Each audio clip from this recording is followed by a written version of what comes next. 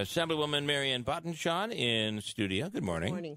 So it was an interesting session here, right?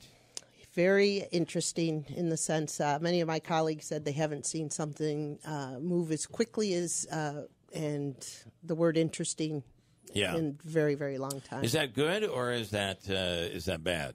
I guess it is, uh, you put it in perspective in regards to uh, individuals that have been looking for these bills to be passed. Some of Yeah. them have been six or seven years, um, some of them have been a decade.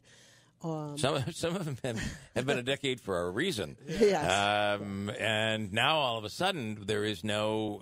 It used to be the Republican Senate was always there to block a lot of these things from happening. And uh, is there anything that you can think of that shouldn't have passed that did? Well, I was very concerned um, with our Farm Act um, Yeah. because uh, clearly I, I am for safety Mm-hmm. for anyone that's working, including all of you, as well as being treated fair. Um, however, the process of collective bargaining starts with a clear conversation between an employee and employer or employees, Yeah, plural. yeah. So, um, from the research that I uh, our office looked into, there was not enough of that. There was not enough dialogue between those that are owning the farms and those that are working for those individuals. So it was more. Um, that's what I had requested. I had asked um, to slow it down so that those con- conversations could happen. And um, obviously, the sponsor again had had been spending close to a decade working on this, and felt that uh, it was Where's the sponsor from? Uh, who is Queens. Queens. Uh, so, Yeah. yes, she is. Perfect. Uh, so they completely There's a lot of understand. farms uh, they understand the farming, uh, the farming industry here. Um, i- i- is in her mind? Is it she? By Yes. the way, yeah. In her mind, is she thinking that these are massive farms with massive amount of uh, uh, workers, sometimes migrant workers? Is that what is her vision of what goes on? The dialogue that I had with her was more concerned about ensuring that anyone can uh, unionize, which makes sense. Mm. Yeah. But again, it just got to the point where it wasn't including those employees as part of the conversation. Yeah. And that's that's what I uh, couldn't emphasize enough with her, and I struggled with to try to remind her that um, having much many more hearings and having them throughout the state to have these individuals talk before the collective bargaining process. I just, Yeah.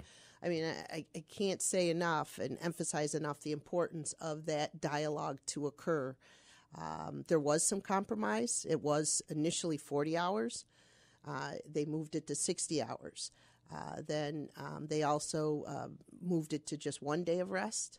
But I, I kept explaining to her the importance of uh, if it's raining, as we have seen, I mean, it's right. devastating. They're, uh, the farmers in this area had So three this days. this restriction says what that uh, that farm uh, owners have to do what for employees? It's 60 hours, and then after that, it would go to time and a half. And um, clearly, uh, they need a day of rest, which, uh, again, um, per week. per week. Yes. Okay. So, and, and again, not unfair, but many of the individuals, as you had talked earlier, uh, that come to this area through the process legally that are working with many of the farms in our area, um, they're here to work because Right. they want to. They're, Yeah, they're yeah. making their money as as much as they can, as quick as they can, because obviously there's seasons that they're not going to be able to. work. Right. There's seasons that they won't be uh, they won't be able to work. Wintertime is coming, Mm-hmm. uh, and then when we get these crazy springs with the with the heavy rains, um, it, it really poses a problem for farmers. So Mm-hmm. they have to, and you know, it it. I hate to say, but the the the guy I'm thinking of somebody right now in my mind, some a friend of mine that uh, grew up on a farm. Uh, it was a family farm. Sure, they hired people, but it wasn't that big of a farm. Uh, but he worked every day. Um, I guess that's his choice because his family owns the farm. Right. But um, but that's what farmers do. Uh, they they work every day. The rest of us are like, well, we're all going out. He couldn't go out because he had to he had to take care of the farm. The, the cows still have to be milked every day. Yes. all of that. So, uh, but so, so now they'll be forced to pay time and a half. Wow, this is uh, or um, do what a lot of these uh, uh, big chains have done to avoid the fifteen dollar an hour minimum wage. They just cut people's hours so they don't reach the threshold. And I mean, I obviously I live in Marcy, and the Danito Yeah. farm it provides a lot of insight because there's there's housing that's provided. I mean, there's there's so many other aspects to this. Yeah. Um, so it is.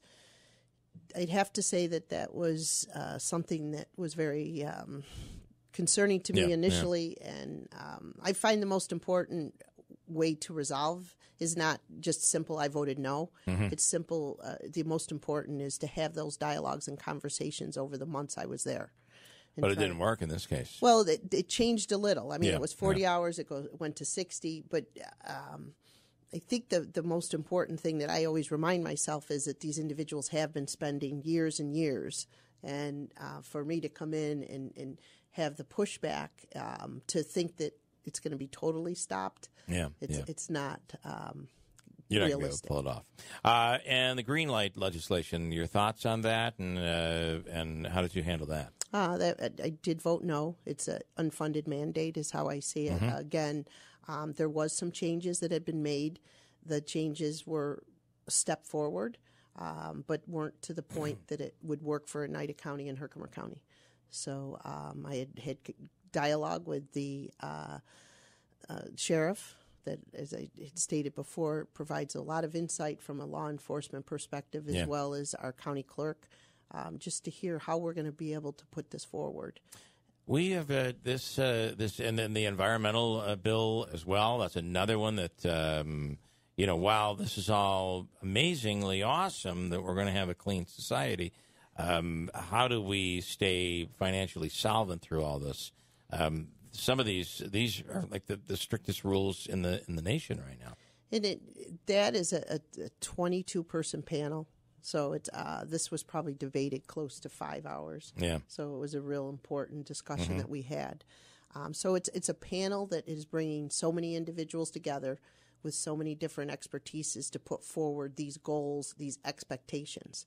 Um, the expectations are very high. Yeah. You're absolutely right. Yeah. But at the same token, when we're looking at bringing in so many individuals, I look at uh, my education background in, in working in the college, and that's how we resolve stuff: is to tr- bring experts to a table. Now, bringing 22 people to one table, it's going to take a while. Yeah. Um, are those goals achieve- achievable? I hope so, but I'm Yeah. not sure. Um, Uh, do you fear though that bringing all the people to the table, while that is the way it's uh, it's done and everybody votes, it is the the uh, it, it, we're we've leaned so far to the left that it it, it we're fearing uh, we're nearing a point where it the the legislature doesn't represent upstate; it only represents the the uh, way of life uh, of uh, of liberal Democrats uh, from New York City. Well, this um, group that's coming together is not just um, left, right, center. What Right. it is, I mean, they are. There, Yeah. there are just so many different uh, commissioners. We're looking at the DEC. We're looking at ag. We're looking at But I'm saying in general, in general, general. everything that's passed, uh, it's been a, uh, a a pretty big liberal agenda for the governor this uh, this session.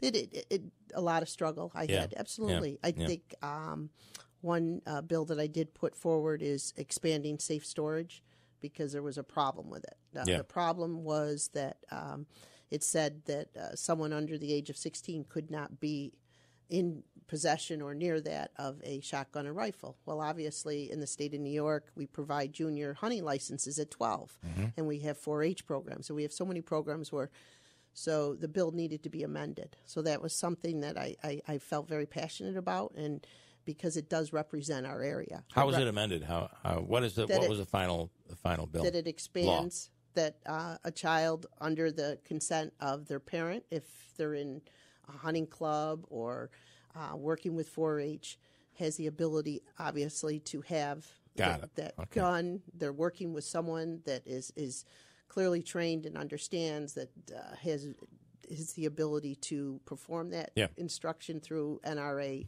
uh, approval. All right. Uh, anything else that you want to hit on that? Uh, I just uh, my first bill was the the Crosley bill to Mm-hmm. ensure that we change uh, the highway uh, of Oriskany Boulevard. That family is a wonderful family. Yeah, yeah. Um, an officer that uh, we all uh, are near and dear to us. Yeah, so we'll be having that this summer. Uh, it's, it's it's just it took some time. So those are the things that kind of frustrate a little is, is how much time it takes. Assemblywoman Marianne Buttenschon, thanks so much. Thank you. I appreciate it, and happy summer. yes, we're here. Yeah, you're back.